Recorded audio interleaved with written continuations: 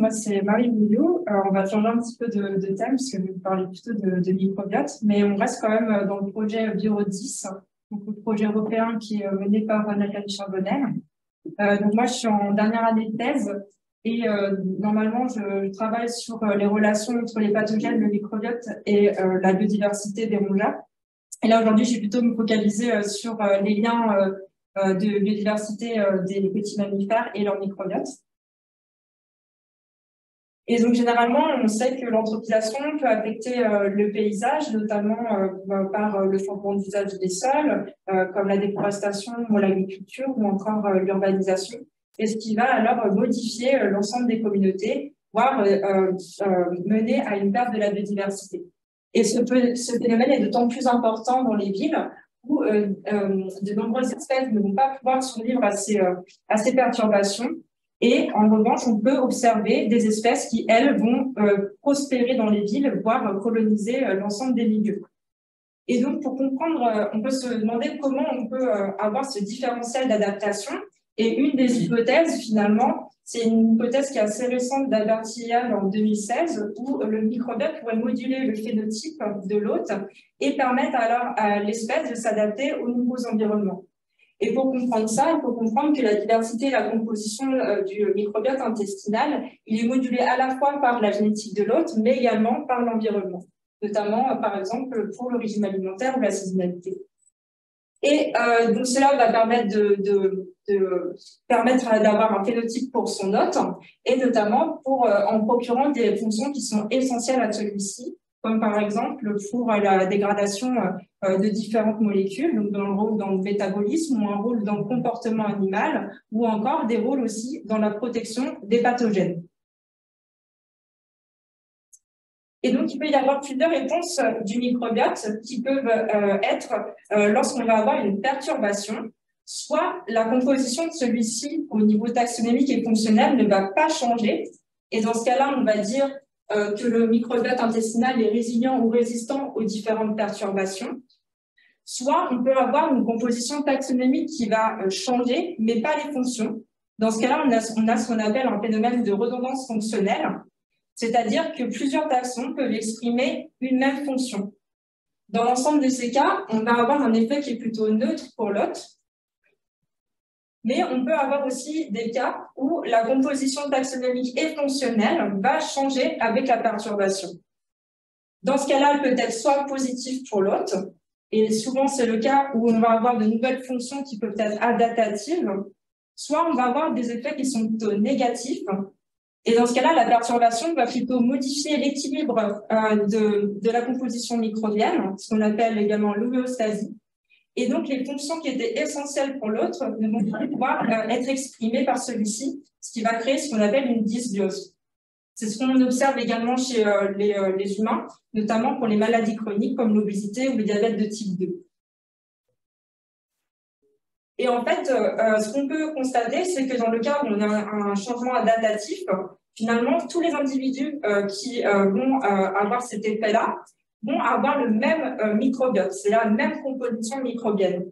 Alors que les individus qui sont malades, qui vont avoir une dysbiose, eh bien, ils vont finalement avoir une composition microbienne qui vont être très différente des uns des autres. Et ça, c'est plutôt géré par des phénomènes qu'on appelle des phénomènes stochastiques. Et ce qu'on observe finalement lorsqu'on a une perturbation anthropique, notamment, euh, notamment euh, par les villes, euh, on peut observer plutôt des effets qui vont être négatifs pour l'autre, c'est-à-dire des dysbioses avec accompagnées d'une perte de diversité microbienne. Et donc moi, j'ai voulu euh, observer ça, euh, notamment chez les petits mammifères. Et euh, les petits mammifères se portent bien pour observer et comparer la diversité microbienne, puisqu'ils vont être partout, ils vont coloniser tous les milieux, notamment les forêts rurales, également les, les milieux urbanisés on retrouve des espèces qui vont être uniquement dans les euh, espaces euh, ruraux et forestiers, qui vont éviter et être sensibles aux perturbations euh, urbaines. On va avoir, on les appelle donc les éviteurs. On peut trouver des espèces qu'on appelle également adaptatrices, qui vont être présentes tout le long du gradient de l'urbanisation. Ou encore, on peut avoir des espèces citadines, souvent ce qu'on appelle les espèces commensales, qui vont être présentes uniquement ou majoritairement, en tout cas, dans les milieux urbains. Et donc, je me suis posé la question euh, si l'urbanisation pouvait impacter d'une part la communauté des petits mammifères, mais également leur microbiote. Et euh, j'ai essayé aussi de voir si euh, la réponse en fait, du microbiote intestinal face à cette perturbation urbaine. Et donc pour ça, on est allé échantillonner avec toute l'équipe dans le côté est de la France, dans deux sites ruraux et deux sites urbains et j'ai pu également effectuer différentes analyses spatiales qui nous confirmaient qu'on avait bien un gradient d'urbanisation. Donc, pour euh, euh, chacun des sites, euh, on, a également fait des mesures de, succès de piégeage pendant trois nuits, ce qui, nous ont, permis d'avoir un aussi d'abondance et donc d'effectuer finalement des mesures de diversité de composition des petits mammifères. On a également euh, pu euh, euh, disséquer différents rongeurs et obtenir différentes données individuelles, notamment la maturité sexuelle et également le genre. À partir des colons, on a pu également effectuer des analyses en métabarcoding sur le gène CSS et, de différentes manières, je ne rentrerai peut-être pas dans les détails, mais on a pu obtenir notamment des données sur les taxons microbiens et également sur les fonctions microbiennes. À partir de là, on a pu également estimer la composition et la diversité euh, du euh, microbiote intestinal. Donc ensuite, au niveau des analyses statistiques, j'ai euh, regardé l'effet de l'urbanisation sur la composition des petits mammifères et j'ai regardé également l'effet de cette composition des communautés de petits mammifères sur la composition de la, et la diversité du microbiote intestinal.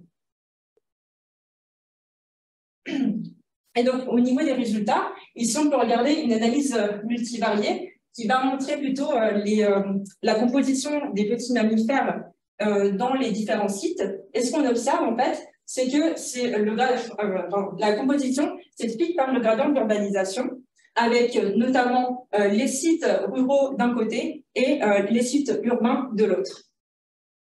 Et plus précisément, dans les sites euh, euh, ruraux, on retrouve bien ces espèces qui sont dites évitantes, notamment des genres euh, d'insectivores comme Sorex ou Crocidura, ou encore des loirs du genre glisse.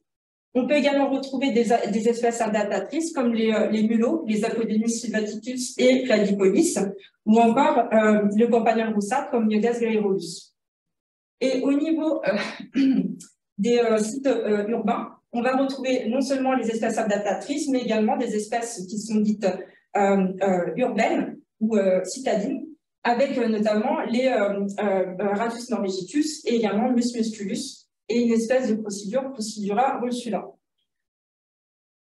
Maintenant, au niveau de la diversité du microbiote intestinal, j'ai regardé la richesse taxonomique en fonction des différents sites le long du gradient d'urbanisation et selon les différentes couleurs qui vont plutôt montrer les différentes espèces euh, de, petits mammifères. Et ce qu'on constate, c'est que la diversité finalement taxonomique, elle s'explique aussi bien par ces différents sites, mais également par les espèces.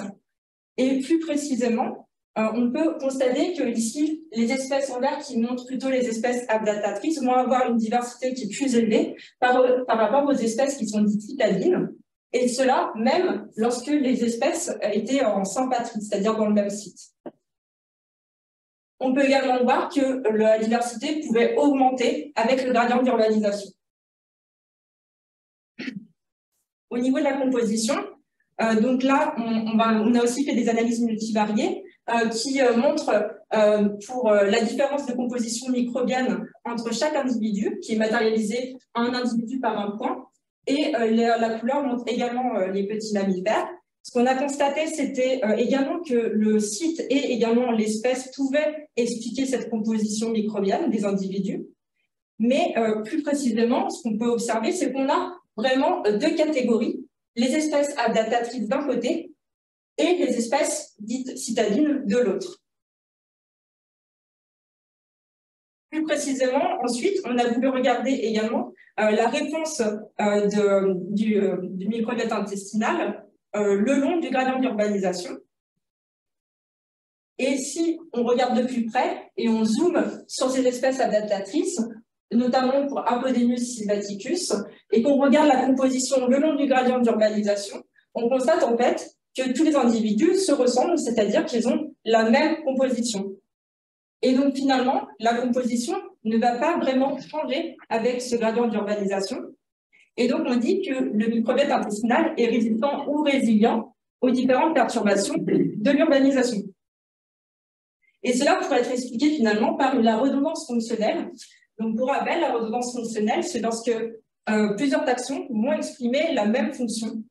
Et donc pour regarder ça, on regarde la richesse euh, euh, fonctionnelle en fonction de la richesse taxonomique. Et si, et si finalement on n'a pas de redondance fonctionnelle, on devrait avoir donc une droite assez importante où le nombre de taxons augmente avec le nombre de fonctions. Si en revanche on a une redondance fonctionnelle, on doit avoir une pente qui est plus faible. Et donc, euh, euh, voilà. Et donc là, c'est ce que j'ai fait exactement ici. Et ce qu'on constate, c'est que la pente est notamment plus faible pour les espèces adaptatrices par rapport aux autres espèces. Et ça, de manière encore plus importante, lorsque les espèces adaptatrices étaient finalement dans les milieux urbains. En revanche, au niveau des espèces euh, citadines, on ne peut pas vraiment savoir puisqu'elles se retrouvent uniquement dans les milieux euh, citadins. Et donc, on les compare plutôt aux espèces adaptatrices qui, elles, étaient présentes de partout et la composition ne change pas beaucoup. Et ce qu'on constate, c'est qu'à chaque fois, que ça soit au niveau des taxons ou la composition fonctionnelle, donc ça c'est exactement la même représentation mais avec les fonctions, eh bien, on a toujours quand même cette séparation entre les espèces adaptatrices et les citadins. Ce qui montre alors que finalement, on a un changement de composition taxonomique et fonctionnelle pour ces espèces. Maintenant, on a voulu savoir si c'était plutôt des, euh, des, effets qui étaient négatifs ou positifs.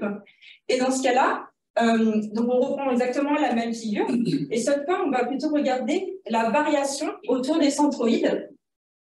Et pour ça, euh, si vous rappelez ce que je vous ai dit tout à l'heure, lorsqu'on a en fait des espèces qui sont dites euh, qui sont en bonne santé, elles vont toutes avoir le même, la même composition microbienne, donc la variation est très faible, alors que lorsqu'on est en mauvaise santé, tous les individus vont être, avoir une composition microbienne qui va être différente et donc on va avoir une grande variance. Et donc, c'est ce qu'on observe ici pour les espèces citadines qui vont avoir donc une, variance qui est plus importante. Et si vous ne croyez pas sur parole, j'ai également fait effectuer des tests euh, qui sont un peu plus complexes, où j'ai pu vraiment euh, voir si euh, c'était expliqué par des effets stochastiques ou non. Et ce qu'on a pu trouver, c'est que les espèces citadines avaient beaucoup plus d'effets stochastiques que les, que espèces adaptatrices. Mais on a pu également constater qu'ils avaient aussi de la sélection donc, ces mêmes espèces avaient les deux, c'est-à-dire beaucoup plus de d'effets euh, stochastiques, mais également des effets euh, de sélection. Et ce qu'on a pu également voir, c'est qu'on avait des, euh, des, fonctions qui étaient surexprimées. Et ces fonctions surexprimées, elles pourraient avoir un rôle, notamment dans l'adaptation, un, rôle euh, essentiel pour la survie de l'hôte. Et donc, pour résumer, euh, finalement, euh, l'urbanisation, elle peut avoir différents effets notamment sur les communautés de petits mammifères, mais également sur les communautés microbiennes, mais également indirectement par des effets de cascade par l'intermédiaire des différentes catégories d'espèces le long du gradient d'urbanisation. Donc des espèces citadines ou des espèces adaptatrices qui ne vont pas avoir le même processus écologique sous-jacent. Et donc l'hypothèse, ce serait que finalement, on ne peut pas savoir si euh, l'effet est euh, les communautés sur les communautés microbiennes ou si c'est tout simplement les effets en feedback, c'est-à-dire euh, si c'est plutôt le microbiote qui pourrait expliquer la datation dans les, espèces dans les communautés des petits mammifères.